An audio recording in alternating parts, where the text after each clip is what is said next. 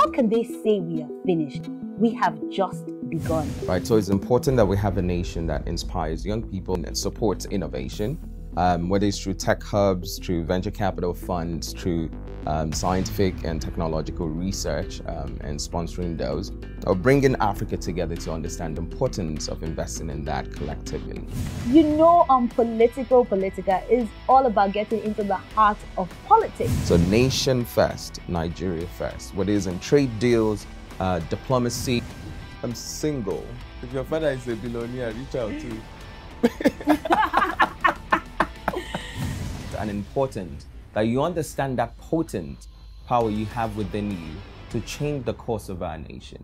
And it starts now.